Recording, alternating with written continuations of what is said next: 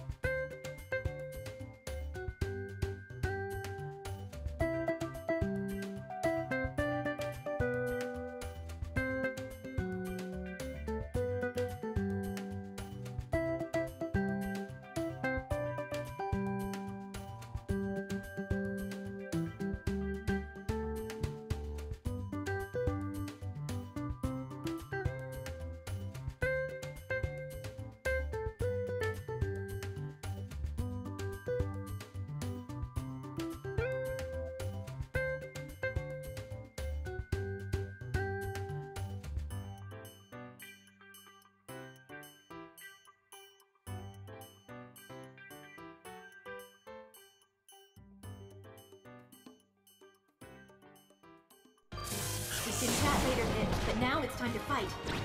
The Underworld army's invaded. Whoa! You weren't kidding! Use the L button to fire. You can target enemies with the stylus.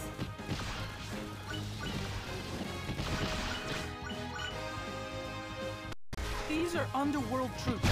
Are you saying Medusa's been... Resurrected, yes. Though the Goddess of Darkness was defeated long ago, she's back now. And as the Goddess of Light, it's my duty to protect humanity from her. Ah, you worry too much. See ya! Medusa! Hello there, Pit. And you too, Palutena. Here to crash my homecoming party? Uh, this really doesn't look like much of a party. What better way to celebrate my return than with a festive little bloodbath? After all, I have been gone for 25 years. They're moving their attack to the ground.